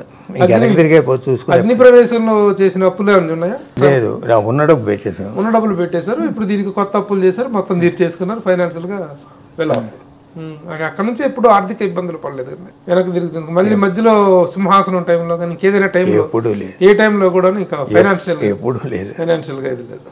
వెరీ గుడ్ మీ కుటుంబంలోకి విజయరమల గారి ప్రవేశం. అది ఎలా మీ ఆమోదం పొందటం కానీ ఆవిడ మీలో ఒకరు అయిపోవటం కానీ తర్వాత they had a wonderful journey ఆ సందర్భంలో మీ రియాక్షన్స్ ఏంటి సార్? అది అన్నయ్య పర్సనల్ ఇష్యూ కదా. పర్సనల్ ఇష్యూగానే చూసాం. కుటుంబ పరంగా మీ వైపు నుంచి ఎలాంటి వ్యతిరేకతలు కానీ మీ నాన్నగారు మీ అమ్మగారు అటువైపు నుంచి వచ్చినటువంటి మా అమ్మగారు కొంచెం రెసిస్టెన్స్ ఉండేది. తర్వాత అడ్జస్ట్ అయ్యారు. మీ వదిన గారు వదిన గారు నేను అటాచ్డ్ ఆవిడ. వదిన గారు పిల్లలు కానీ. అందరూ అంటే ఈ ఆ రోజున ఫ్యామిలీలో ఏర్పడినట్టు ఒక మానసికమైనటువంటి డిస్టర్బెన్స్ని మొత్తాన్ని సర్దిన వ్యక్తిగా సర్దుబాటు చేసిన వ్యక్తిగా స్పాసిఫై చేసిన వ్యక్తిగా మిమ్మల్ని చెప్తారు మీ- మదరే మీ మదర్ మీరు మీ పాత్ర కూడా నా ఉన్నాడు పాత్ర సపోర్టివ్గా తప్ప మదర్ ఏది చేశాను. అంటే అన్నయ్య కూడా ఇప్పుడు కూడా. ఇటు వీటి నెగ్లెక్ట్ చేసింది లేదు. చేసింది కానీ ఒక ఆదర్శమైనటువంటి జంటగా ఉన్నారండి వాళ్ళిద్దరు. కృష్ణ గారికి విజయనిర్మల గారి సపోర్ట్ కూడాను ఆయన మంచి చెడ్డ వేడి వెచ్చ చూడటంలో. ఆవిడ ఒక డైరెక్టర్గా లేడీ డైరెక్టర్గా ఆ స్థాయికి వెళ్ళటంలో కృష్ణ గారి ఎంకరేజ్మెంట్ అంత it was a great journey ఎందుకంటే తర్వాత తర్వాత తయారులో ఆవిడ డైరెక్షన్ చేసిన సందర్భంలో కృష్ణ గారు మీనా సినిమా నుంచి ఎంకరేజ్ చేసిన విధానం కానీ మీ అందరితో మీ అందరితో ఎఫెక్షన్ ఎలా ఉండేదండి మేడం విజయనిర్మల గారితో? ఎందుకంటే మా బ్యానర్లు ఎప్పుడు చేయలేదు కదా పెద్ద ప్రొఫెషనల్ ఇది లేదు. ప్రొఫెషనల్గా లేదు పద్మాలయాలో ఇప్పుడు చేయలేదు. ఆవిడ వాళ్ళు విజయకృష్ణ బ్యానర్ పెట్టుకుని చేసుకున్నారు. విజయకృష్ణ బ్యానర్లో ఆవిడ సొంత సినిమా చేసుకునేవాళ్ళు మన బ్యానర్ ఆమె ఆవిడ నలభై మూడు సినిమాలు డైరెక్షన్ చేశారంటే పద్మాలయ బ్యానర్లు ఎందుకు చేయలేదు సార్? మళ్ళీ బ్యానర్లు అంటే మేము ప్రొడక్షన్ అంతా డిస్కషన్ ఆఫీస్లో ఉంటుంది. సబ్జెక్ట్ కానీ లేకపోతే ప్లానింగ్ కానీ అన్నీ మ- దేశంతోనే ఉంటాయి. అది హిందీ తీసినా ఎంత పెద్ద సినిమా అయినా కెరీర్ చూసుకుంటే పద్మాలయాలో తెలుగు సినిమాల్లో పెద్ద డైరెక్టర్ చేసింది ఏది లేదు. మేము. పెద్ద డైరెక్టర్ల గురించి ఎప్పుడు పాటుకోవాలి అవును కరెక్ట్ ఎప్పుడో ఒక సినిమా రమేష్ బాబుతో దాసనారాయణరావుతో తీసాం ఒకటి. అది తప్ప పెద్ద డైరెక్టర్ అంటూ వెళ్ళి వాళ్ళ ఎమ్మట పడింది లేదు. రాజేంద్ర సింగ్ బాబుతో చేశారు అతను పెద్ద డైరెక్టర్ కదా. మా మా దాంట్లో పెద్ద డైరెక్టర్ కాదు. మా సినిమాతో పెద్ద డైరెక్టర్ అయ్యాడు. మన సినిమా తర్వాత మేరీ అవసరం మేరీ ఆవాసును అట్లానే రాఘవేంద్రరావుని ఫస్ట్ టైం ఇంట్రడ్యూస్ చేశాను బాంబేలో. బాంబే హిందీ హిందీ సినిమా సినిమాలో. ఫస్ట్ టైం డైరెక్టర్ అవునండి ఫస్ట్ టైం అంతేగాని పెద్ద డైరెక్టర్ కాదు. తర్వాత పెద్ద డైరెక్టర్ అయ్యాడు. మీరు చేశాక పెద్ద డైరెక్టర్ అయ్యారు. ఉమ్. ఎవరైనా హిందీ వెళ్ళేటప్పుడు. మన కంట్రోల్లో ఉండే డైరెక్టరే తప్ప. మీరు కంట్రోల్లో ఉండే డైరెక్టరా మీరు కంట్రోల్లో పెట్టుకునే డైరెక్టర్ సార్ కరెక్ట్గా దాంట్లో చాలా వ్యతిరేక తేడా ఉంది అదేం లేదు ప్రొడ్యూసర్ కూడా ఒక టెక్నీషియన్ అని గౌరవించే వ్యక్తులతో అయితే పనిచేయగలం. ప్రొడ్యూసరు. ఏదో సంతకాలు పెట్టడానికి ప్రొనోట్లు సంతకాలకి కాదు. Producer producer is ultimate judge. For any project. Project డబ్బులు ఖర్చు పెట్టడం ఒకటే కాదు. ఈ పలానా డైరెక్టర్ అయితే ఈ సినిమా బాగుంటుంది పలానా మ్యూజిక్ డైరెక్టర్ అయితే ఈ సినిమా బాగుంటుంది లేదా పలానా కాస్టింగ్ అయితే ఈ సినిమా బాగుంటుంది అని జడ్జ్ చేయగలిగేవాడే ప్రొడ్యూసరు అవును సార్ ప్రొడ్యూసర్ డైరెక్టర్ అయితే. ఒక సినిమా వరకు సక్సెస్ అవుద్ది కానీ తర్వాత పోవు. మీరు చాలా చూసుకోండి ఎగ్జాంపుల్స్. అదే డైరెక్టర్ ప్రొడ్యూసర్ అయితే. ఒక సినిమా వరకు ఓకే. కంటిన్యూస్ డైరెక్టర్ ప్రొడ్యూసర్ ఒకటే అయితే డైరెక్టర్ ప్రొడ్యూసర్ ఎక్కువ కాలం ఉండదు. మరి అనుకుంటే ఆ రికార్డు బ్రేక్ చేసినటువంటి వ్యక్తి ఎన్టీ రామారావు గారు కదండి. ఎన్టీ రామారావు ఆయన ప్రొడ్యూసర్ డైరెక్టర్ యాక్టర్ కూడా అదే కదా ప్రొడ్యూసర్ డైరెక్టర్ యాక్టర్ తను. పదహారు సినిమాలు తను తను డైరెక్ట్ చేసుకున్నారు. దాదాపు నైంటీ పర్సెంట్ సక్సెస్లు ఉన్నాయి. అదే అదే ఆయనకి ఉన్నటువంటి అట్లా కృష్ణ గారికి ఉన్నాయి. కృష్ణ గారికి ఉన్నాయి అదే. ఆ తర్వాత నెక్స్ట్ ప్లేస్లో కృష్ణ గారు. Producer turned hero hero turn producer అనేటువంటి. ఇప్పుడు ఇప్పుడు ప్రొడ్యూసర్లు హీరోలు ఇప్పుడు ఉన్నారు కదా. ఎవరైనా సొంత డబ్బు పెట్టి తీసారు కానీ ఇంకోటితో భాగస్వాములుగా చేస్తే వాళ్ళకి బాధక సాధక బాధకాలు తెలియవు. తెలియవు.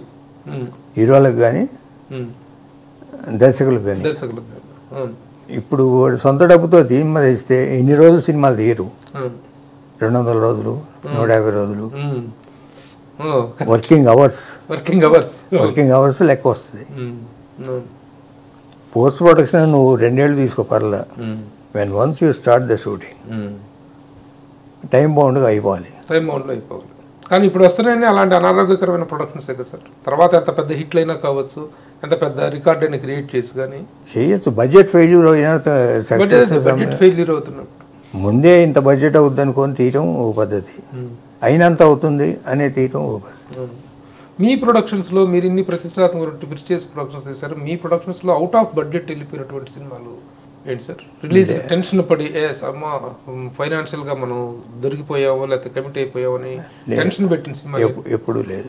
ఫైనాన్షియల్ అవుట్ బడ్జెట్ ఏది లేదు. టైం బడ్జెట్ కూడా ఫెయిల్ అవ్వచ్చు కొన్ని అవి వేరే విషయం కానీ బడ్జెట్ పరంగా ఎప్పుడు ఫెయిల్ అవ్వాలి. మనకి బిజినెస్ ఎంత అవుద్ది అని సినిమా తీస్తాం. అంటే ఫైవ్ పర్సెంట్ ఇటు అటు అవ్వచ్చు అంతేగాని డబుల్ అవటం ట్రిపుల్ అవటం. అసలు అద్దులు విపరీతమైన ఎక్స్పోజర్ ఎక్స్పోజర్ ఉండేది ఆ రోజు. ఎక్కువ సినిమాలకి ఇంట్రెస్ట్ బడ్డన ఎక్కువ అవుతుంది. తెలియకుండా అవుతుంది వీళ్ళకి. ఇప్పుడు తీసే సినిమా అవును. రెండు మూడేళ్ళు తీసేదంటే బడ్జెట్ ఇంట్రెస్ట్ నీళ్ళు కాస్ట్ ఆఫ్ ప్రొడక్షన్ అంతా అయిపోతుంది ఇంట్రెస్ట్ అనేటువంటిది. సార్ మీరు హిందీ చిత్రరంగంలో మీ విజయ్ బావుటా గురించి చెప్పుకుంటే ఎక్కడెక్కడ నార్త్ కాదు అమెరికాలో పోయినా సరే పద్మాలయ అనగానే ఒక ఐడెంటిటీ ఉంటుంది సార్. ఒక గ్రేట్ రికగ్నిషన్ ఉందండి. ఇప్పుడు మనకి ఇక్కడికి వచ్చేటప్పటికి కృష్ణ గారు పెద్ద పద్మాలయ పెద్ద సార్. ఏది ఏది పెద్ద ఏది గొప్ప? ఇప్పుడు ఇక్కడ వచ్చేటప్పటికి పద్మాలయ పెద్ద సంస్థే కానీ బట్ కృష్ణ గారి షాడోలో ఉంది. ఆ నీడలో. అంటే కృష్ణ గారి వ్యక్తిత్వం కానీ కృష్ణ గారి పాపులారిటీ కానీ పద్మాలయ కన్నా పైన ఉంది. అదే హిందీకి వెళ్ళేటప్పటికి పద్మాలయ ఎక్కడో ఉంది. కృష్ణ గారికి అక్కడ ఇది లేదు కాబట్టి పాపులారిటీ కానీ పబ్లిక్ లేదు కాబట్టి బ్యానర్ పెరిగింది బ్యానర్ పెరిగింది. బ్యానర్ పెరిగింది. కృష్ణ గారు ఎవరంటే పద్మాలయ చైర్మన్ అంటే తెలుస్తుంది హిందీలో. ఇక్కడ పద్మాలయ అనగానే కృష్ణ గారు కృష్ణ గారు అనగానే పద్మాలయ.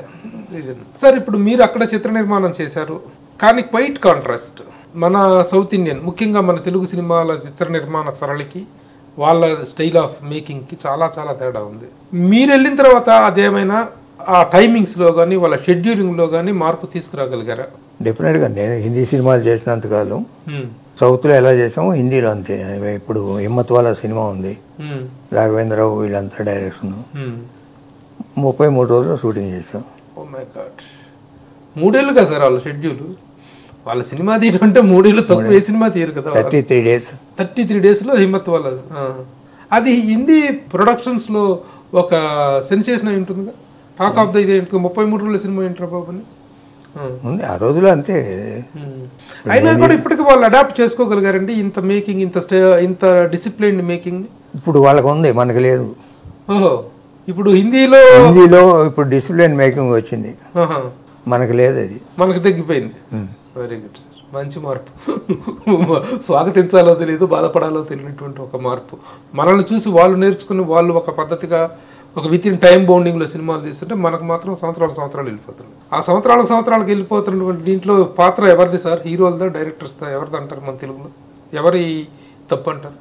ఇద్దరిది ఉంది డైరెక్టర్స్ హీరోలు ప్రొడ్యూసర్లు I blame the producer first then the heroes or directors అంటే ఇప్పుడు ఆ స్థాయిలో తీస్తున్నటువంటి ప్రొడ్యూసర్స్ ఎవరు కూడాను ప్రొడ్యూసర్స్ కాదు ఓన్లీ ప్రపోజల్ మేకర్స్ మాత్రమే కాంబినేషన్ సెక్టర్స్ మాత్రమే అనేటువంటి అభిప్రాయం ఉంది సార్ ఈ రోజున. ఈ రోజున స్టార్స్తో సినిమాలు తీస్తున్నటువంటి నిర్మాతలు ఎవరు కూడాను తెలుగులో తీసుకుంటే కాంబినేషన్ సెక్టర్స్గానే ఉన్నారు తప్ప genuine and the their own వర్చ్యూన్ cinema తీస్తున్నటువంటి వాళ్ళు తక్కువ అనేటువంటి అభిప్రాయంతో మీరు ఎంతవరకు ఏకీపిస్తారు కరెక్టే. సినిమా ప్రొడ్యూసర్ అనేవాడికి సినిమా కథ ఏంటో తెలీదు లేకపోతే ఎక్కడ తీసినారో తెలీదు ఆర్టిస్టులు ఎవడో తెలీదు బడ్జెట్ ఎంత ఉందో తెలీదు. అప్పుడు ప్రొడ్యూసర్ అని ఎట్లా అంటాం we cannot call them as producers నిర్మాత చేజారిపోయింది తెలుగు సినిమా అనేటువంటి దానితో మీరు ఎంతవరకు ఏకీపిస్తారు అంటే ఇప్పుడు కొంతమంది వ్యక్తుల చేతిలోకి వెళ్ళిపోయింది. పబ్లిసిటీలో చేయాలన్నా కూడా దాంట్లో ప్రాఫిట్స్ లేదా సినిమా టికెట్లు అమ్ముదాం అనుకున్నా దాంట్లో ప్రాఫిట్స్ ఇప్పుడు ఏదో ఆన్లైన్ టికెట్స్ అని గవర్నమెంట్ ద్వారా చేద్దామన్నా దాంట్లో ప్రాఫిట్ అంటే ఇవన్నిటికీ మూలం film chamber producers council inactive అవటం. ఇప్పుడు నిజంగా కూడా అండి ఇప్పుడు ఇండస్ట్రీలో మనం మొదటి నుంచి చూస్తున్నా కూడా ఇండస్ట్రీలో సమస్యలు అనేటువంటి నిర్మాణంలో ఉన్న నిర్మాతల సమస్యలు వేరు ఇండస్ట్రీకి ఉండేటువంటి వ్యవస్థాగత సమస్యలు వేరు. వ్యవస్థాగత సమస్యలు వాటికి పర్మనెంట్ సొల్యూషన్స్ కావాలి అండర్ ప్రొడక్షన్ నిర్మాతలకు తాత్కాలికమైనటువంటి ఉపశమనాలు కావాలి. ఈ రెండింటి మధ్య క్రాష్ కారణంగానే ఇండస్ట్రీ అనేటువంటిది ఎప్పుడూ కూడాను డౌల్ రూమ్స్లో అనైక్యంగా కనిపిస్తుంది అనేటువంటి ఒక అభిప్రాయం ఉంది. వీటిని సమన్వయం చేసే అవకాశం ఉందా? ముందుగా చేయి దాటిపోయింది. అమెరికన్ ఇండస్ట్రీ ఉంది. ప్రొడ్యూసర్లు వాళ్ళే డిస్ట్రిబ్యూటర్లు వాళ్ళే ఎగ్జిబిటర్లు వాళ్ళే స్టూడియోస్ వాళ్ళే అది ఒక సంస్థ. ఇక్కడ కూడా అట్లాంటిది వస్తే ఓకే అది రావట్లే. అంటే ఈ వర్గీకరణ కరెక్టా సార్? నేను చెప్తాను ఒక వర్గీకరణ చెప్తాను అది ఎంతవరకు కరెక్ట్ కొంచెం మీరు ఒక అనుభవజ్ఞులుగా చెప్పండి. సినిమా అండర్ ప్రొడక్షన్ చెయ్యని నిర్మాతలు ఎప్పుడో సినిమాలు తీసేసి చిత్ర సన్యాసం చేసినటువంటి నిర్మాతలు చేస్తున్నటువంటి చిన్న నిర్మాతలు చేస్తున్నటువంటి పెద్ద నిర్మాతలు సినిమాలు చేసినటువంటి పెద్ద నిర్మాత పెద్ద నిర్మాతల సమస్యలకి చిన్న నిర్మాతల సమస్యలకి మధ్య ప్రతి విషయంలోనూ వేరియేషన్ కనిపిస్తుంటుంది. అసలు చేయనకుండా ఛాంబర్లో కూర్చొని ప్రొడ్యూసర్ కౌన్సిల్లో కూర్చొని కామెంట్లు చేసే నిర్మాతలు. ఈ ఈ మూటి మధ్య ఒక విషమైన లాగా ఏర్పడి పరిశ్రమకు ఒక ఏకీకృతమైనటువంటి ప్రాతినిధ్యం అనేటువంటిది చేయలేని పరిస్థితి ఉంది అనేటువంటి దాంట్లో మీ విశ్లేషణ ఏంటి సార్ అంటే ఎప్పుడైనా పెద్ద నిర్మాతకి అసోసియేషన్ అక్కర్లా. అసోసియేషన్ కావాల్సిందే చిన్న నిర్మాతకి. బాధితులు వాళ్ళే. ఎప్పుడైనా. వాళ్ళకి బాధ కలిగించుకొని ఉండటం కోసమే సంఘం. అసోసియేషన్ కావాల్సిందే వాళ్ళకి. అన్ఫార్చునేట్గా ఇప్పుడు రివర్స్ అయ్యింది. రివర్స్ అయిపోయింది. ఇప్పుడు ప్రొడ్యూసర్స్ గిల్డ్ అని ఒకటి కొత్తగా పెట్టుకొని ఆ ప్రొడ్యూసర్స్ ఆ గిల్డ్ మీద చాలా టాప్ బ్యానర్స్ టాప్ ప్రొడ్యూసర్స్ ఉంటున్నారు. ఏది లేకుండా కొత్త కొత్త సినిమాలు తీసినటువంటి వాళ్ళు కౌన్సిల్ ఇదిలో ఉంటున్నారు. దానికే చెప్తున్నాను. పెద్ద ప్రొడ్యూసర్లు అనేది వేరే పెట్టుకున్నా. ఏదైనా ప్రాబ్లం వస్తే మళ్ళీ ఇక్కడికే రావాలి. ఈ అసోసియేషన్కి ఏది గిల్డ్ వాళ్ళు కూడాను? వీళ్ళు ఎవడైనా. ఎవరైనా. సమస్య అంటే ఏదైనా టెక్నీషియన్తో సమస్య వచ్చినా లేకపోతే ఒక ఎగ్జిబిటర్తో సమస్య వచ్చినా. మళ్ళీ ఇక్కడికే రావాలి. మరి గిల్డ్ సొంతగా చేసుకోలేదా సార్ కేవలం ఒక కొన్ని బెనిఫిట్స్ రిలీజ్ బెనిఫిట్స్ రిలీజ్ టైంలో ఉండేటువంటి వీటి కోసమే నేను చెప్పింది ఇందాక. ప్రతి దాంట్లోనూ కొంతమంది వ్యక్తులు పంచుకుంటున్నారు ఓకే ఇది పబ్లిసిటీలో వచ్చేది ఇదివరకు. మేము చేసిన రోజుల్లో ఈనాడు లాంటి పేపర్నే. నాన్ కోఆపరేషన్ పెట్టాం ఉమ్, అవును అవును. లేకపోతే మామూలుగా ఇతల విడిగా పబ్లిసిటీ చేయటం కరెక్ట్ కాదు. కొన్ని ఛానల్స్. ఇద్దాం త్రూ అసోసియేషన్. అది సక్సెస్ అయింది కదా. ఇప్పుడు కొంతమంది ప్రైవేట్ వ్యక్తులు ఇంకోటి చేసుకొని చేసుకోవటం వల్ల వాళ్ళు పర్సనల్గా బెనిఫిట్ పొందుతారు తప్ప by and large industry suffer అవుద్ది. ఇప్పుడు సపోజ్ టికెట్ రేట్లు అంటున్నావు. పెంచడం కరెక్ట్ కాదు కరెక్ట్ ఇవన్నీ ఉన్నాయి. అసలు వ్యాపారం చేసి మాట్లాడలే ఎవడు? టికెట్ రేటు పెంచిన దాని మూలాన కాదు నష్టపోయేది. థియేటర్లో అన్ని థియేటర్లు వేయటం. వాళ్ళ థియేటర్లు ఫిట్టింగ్ కోసం. ఒక ఊళ్ళో ఆరు థియేటర్లు ఉంటే ఆరు థియేటర్లు వేస్తే ఏమవుద్ది? రోజు ఖాళీ అయిపోతుంది. టికెట్ కట్ అవ్వదు. ఉన్న టికెట్ మొత్తం ఫస్ట్ డేనే కట్ అయిపోద్ది. అందుకని వీళ్ళు వీళ్ళు ఫీడింగ్ కోసం. టికెట్ రేటు అనేది అన్నీ పెరిగినట్టే ఈ పెరిగినాయి ఆక్యుపెన్సీ బేస్డ్. టికెట్ ప్రైసింగ్ రావాలి. ఇప్పుడు ఫ్లైట్ ఉంది ఉమ్. బెదవాడకి మూడు వేలకి నాలుగు వేలకి దొరుకుద్ది ఒకరోజు పదహారు వేలు అవుతుంది. ఫుల్ అయినప్పుడు ఇప్పుడు పదహారు వేలు అయినా సరే ఆ రోజు కొని వెళ్ళాల్సిందే అట్లానే వీకెండ్ బిజినెస్ వచ్చింది Friday Saturday Sunday Saturday Sunday world wide నా ఇక్కడ వరల్డ్ వైడ్గా వచ్చిందండి. వీకెండ్ బిజినెస్ అనేటువంటిది వచ్చింది. ఇక్కడ అదే వస్తుంది. ఉమ్. ఆ వీకెండ్ ఏమొస్తుంది వీకెండ్ వచ్చినప్పుడే మరి వాడు కాస్ట్ ప్రొడక్షన్ రిలీజ్ చేసుకోవాలి. ఉమ్. నువ్వు సినిమా బాగాలేకపోతే ఊరికే చూసు కూడా రాడు వాడు. టికెట్ ప్రైసింగ్ వల్లే అది పిక్చర్ తగ్గింది ఈ పిక్చర్ తగ్గింది అని చెప్తున్నారు కదా కొంతమంది. ఉమ్. టికెట్ ఊరికే చూపించు టికెట్ అవును. సినిమా వాళ్ళతో వరకు చూపించిన చూడదు సార్ ఇప్పుడు సినిమా ఇండస్ట్రీ నుంచి జరుగుతున్నటువంటి ప్రభుత్వాలకు జరుగుతున్నటువంటి ప్రాతినిధ్యం. ఇప్పుడు తెలంగాణ ప్రభుత్వానికి కానీ ఆంధ్రప్రదేశ్ ప్రభుత్వానికి కానీ జరుగుతున్నటువంటి ప్రాతినిధ్యం లీడర్షిప్ లేకపోతే సమస్యలను వాళ్ళకు ముందు ఆవిష్కరించే క్రమంలో సరైనటువంటి ప్రాతినిధ్యం జరుగుతుంది. ప్రభుత్వానికి సరైనటువంటి రిప్రజెంటేషన్ ఇస్తున్నారు అనేటువంటి నమ్మకంగానే అభిప్రాయంగానే మీకుందా? లేదు ఇప్పుడు గవర్నమెంట్ ఎప్పుడైనా ఫిలిం ఛాంబర్ని పిలిచి ఆహ్వానించి చర్చలు జరపాలి. దాన్ని దాటి కొంతమంది ఆర్టిస్ట్లో డైరెక్ట్లో వెళితే వాళ్ళకి సమస్యలు తెలియదు. ఇండస్ట్రీ సమస్యలు. ఆర్టిస్టులకి ఎన్నో దర్శకులకి ఏం తెలుస్తాయి ఇండస్ట్రీలో ఉండే సమస్యలు ఇండస్ట్రీ పూర్వంగానే పరిష్కారం అంటే ఒక ఛాంబర్ తాలూకు కానీ ప్రొడ్యూసర్ కానీ ప్రొడ్యూసర్ కౌన్సిల్ కానీ కూర్చోవాలి అక్కడ వాళ్ళ ద్వారా జరగాలి. కానీ మొన్న జరిగినటువంటి రిప్రజెంటేషన్ సరైన రిప్రజెంటేషన్ మీరు అనుకుంటున్నారా? కాదు. చిరంజీవి గారు మహేష్ బాబు ప్రభాసు కొరటాల శివ రాజమౌళి ఇలాంటి ప్రముఖులు కొంతమంది వెళ్ళి నారాయణమూర్తి గారు వీళ్ళందరూ వెళ్ళి సీఎంని కలిశారు. ఆంధ్రప్రదేశ్ ముఖ్యమంత్రి జగన్మోహన్ రెడ్డి. అది సరైన కాదు. ఎప్పుడు నేను ఇండివిజువల్స్ని ఎప్పుడూ సపోర్ట్ చేయను. మ్మ్. ఎప్పుడైనా ఏ సమస్య అయినా పరిష్కారం అవ్వాలంటే మ్మ్. Andhra Pradesh film chamber of commerce producer council వాళ్ళు హ్యాండిల్ చేయాల్సిందే కానీ. ఇది కరెక్ట్ కాదు మరి మీరు ఆ రోజున ఎందుకు ఒక ఇండస్ట్రీలో ఒక పెద్ద వ్యక్తిగా ఉన్నారు కదా మీరు ఎందుకు దాన్ని ఖండించడం కానీ దాన్ని వ్యతిరేకించడం కానీ చేయలేదు ఎవరన్నా నన్ను అడిగితే ఖండిస్తాను నేనేమో నా సినిమా తీయట్లేదు. ఇప్పుడు నువ్వు అడిగావు కాబట్టి చెప్తున్నాను ఖండిస్తున్నాను. ఇప్పుడు పోనీ ఎవరన్నా చేసినా ఇండస్ట్రీకి మంచి చేస్తే ఓకే గవర్నమెంట్ కొంచెం తెలివి తక్కువగా ఒక జీవో ఇచ్చింది. ఇది రేట్లు తక్కువ చేసి తగ్గించి చాలా తగ్గించి చాలా చాలా తగ్గించి. డౌన్ టు ఎర్త్ చేసింది డౌన్ టు ఎర్త్ అది కరెక్ట్ కాదు.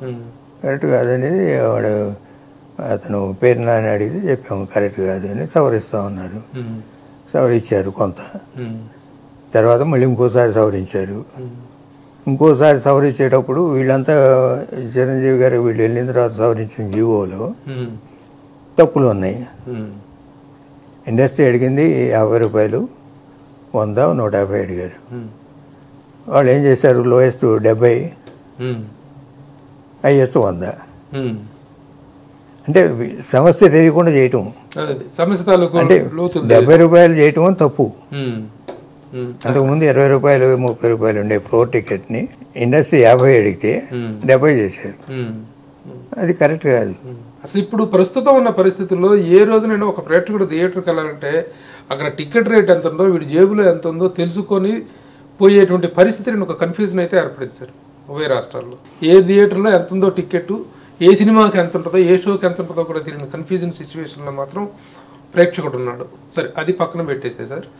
ఇప్పుడు పెద్ద సినీ నిర్మాతలు మా టికెట్ రేట్లు పెంచుకోవడానికి అవకాశం కల్పించండి. మేము కోట్ల రూపాయల బడ్జెట్తో సినిమాలు తీస్తున్నాం కాబట్టి స్టార్ సినిమాలకి మొన్న చేసినటువంటి రిప్రజెంటేషన్ చూసాము దాని ప్రకారం రేట్లు పెంచుకునే వెసులుబాటు రెండు ప్రభుత్వాలు కల్పించినాయండి. రెండు ప్రభుత్వాలు కల్పించాయి కానీ చిన్న నిర్మాతలు కొంతమంది మా సినిమా టికెట్ రేటు తగ్గించుకునే అవకాశం మాకు కావాలని చెప్పి అడుగుతున్నారండి. ఎంఎస్ రాజు లాంటి ఒక ప్రొడ్యూసర్ గారు ఆయన ఒక సినిమా చేస్తున్నారు. My want my film rates to be reduced admission. అది దాంట్లో కూడా ఒక న్యాయమైనటువంటి ఆలోచనే కదండి. ఎంతవరకు చెప్తారు? మాకు మాకు అంత టికెట్ వద్దు.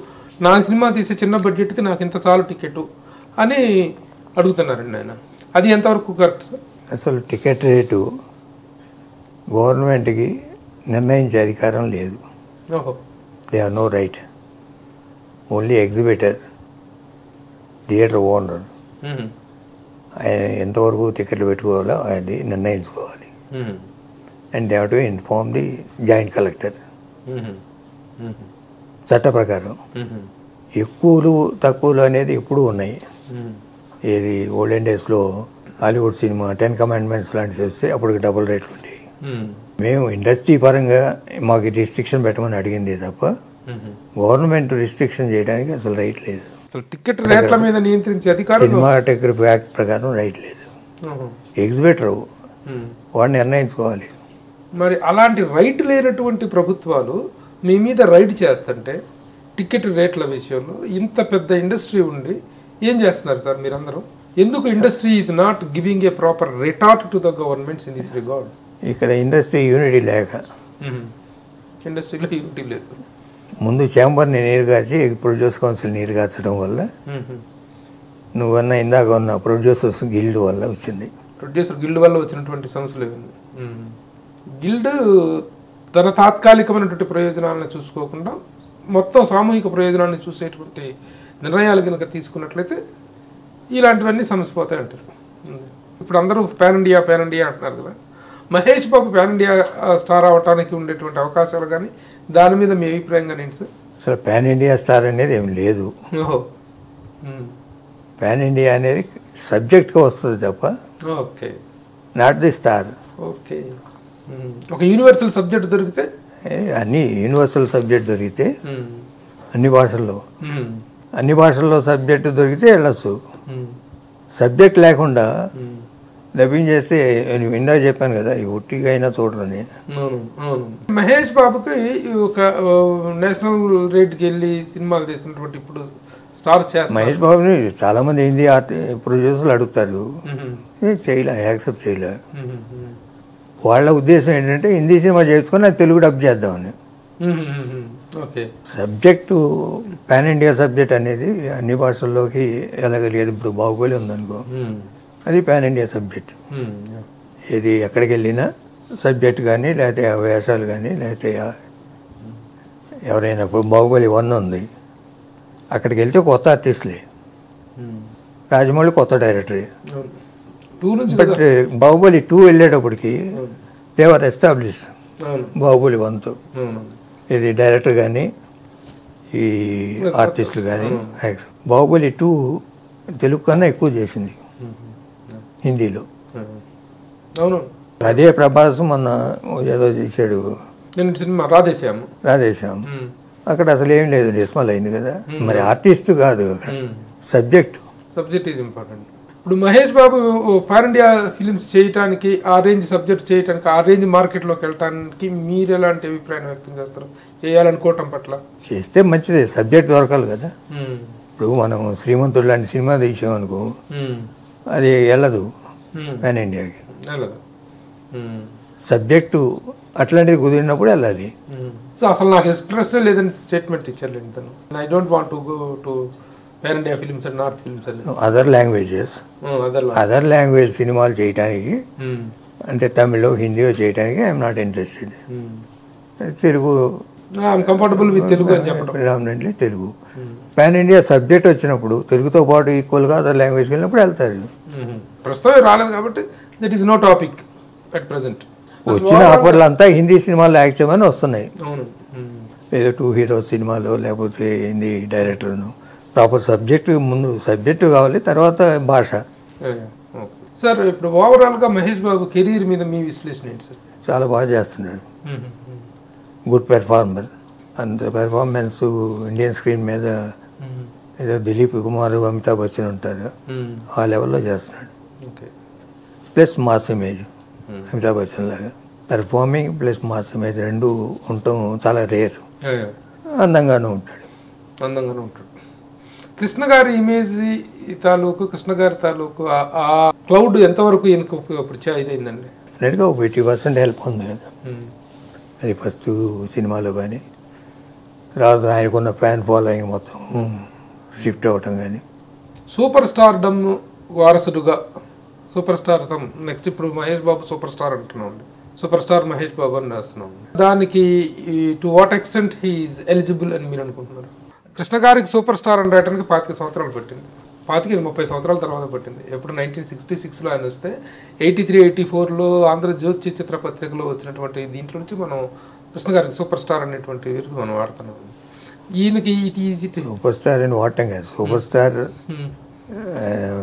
వాళ్ళు కంటెస్ట్ పెట్టారు కాబట్టి సూపర్ స్టార్ చిత్ర ఆంధ్రజ్యోతిలో కంటెస్ట్లో స్టార్డమ్ సెవెంటీ సిక్స్లోనే వచ్చింది. సీతారామరాజుతోనే. స్టార్డమ్ వచ్చింది సీతారామరాజు రిలీజ్ అయిన సంవత్సరం ఎవరు లేరు ఇక. ఆర్టిస్టులు. Nineteen seventy four. Seventy three నువ్వు లిస్ట్ చూసుకో పిక్చర్లు. సీతారామరాజు రిలీజ్ అయ్యేటప్పటికి ఇంకెవడో లేరు. అంటే? ఇంకో ఆర్టిస్ట్ లేడు పీపుల్ మైండ్లో. ఇంకొక హీరో లేడు. ఇంకో హీరో లేడు. అంటే ఆ టయానికి? ఆ టైం అందరూ ఇదిలో ఉన్నటువంటి పరిస్థితి. ఎవరికి సరైనటువంటి హిట్ కానీ సరైనటువంటి ఇది లేదు. అంటే ఇప్పుడు కృష్ణ గారు హీరో అయిన తర్వాత దాదాపు వందో చిత్రం కదా సార్ అల్లూరు సీతారామరాజు అవును. అప్పటికి మీకు కాన్ఫిడెన్స్ రావడం ఒక బ్యానర్ ఒక సంస్థ ఒక వ్యవస్థ ఏర్పడిపోయింది. మహేష్ బాబు మీద ఆ కాన్ఫిడెన్స్ మీకు ఆ కాన్ఫిడెన్స్ మీకు ఎప్పుడు ఏర్పడింది ఏ సినిమా తర్వాత? ఫస్ట్ రాజకుమారుడు హిట్ అయిన తర్వాత కొన్ని కొన్ని ఎదురు దెబ్బలు వచ్చేసింది. పోకిరితో you got the confidence. Mahesh Babu can handle the super stardom అనేటువంటి తర్వాత వచ్చిన మళ్ళీ కొన్ని కొన్ని ఫెయిల్యూర్స్ ఎదురైనాయి. అయ్యి అవ్వచ్చు. ఎవరికైనా పార్ట్ ఆఫ్ ద గేమ్ ఒకసారి స్టార్డమ్ వచ్చినాక ఫెయిల్యూర్లు ఎవరికైనా వస్తాయి. అంటే ఆర్టిస్ట్గా ఫెయిల్ అవ్వాలి? సినిమాలు ఫెయిల్ అవ్వచ్చు. ఇప్పుడు ఇండియాలో నెంబర్ ఆఫ్ హైయెస్ట్ ప్రొడక్టివిటీ ఇచ్చినటువంటి స్టార్స్గా చెప్పుకుంటే ఫస్ట్ ప్రేమ్ నజీర్ మలయాళంలో చెప్తాం సార్.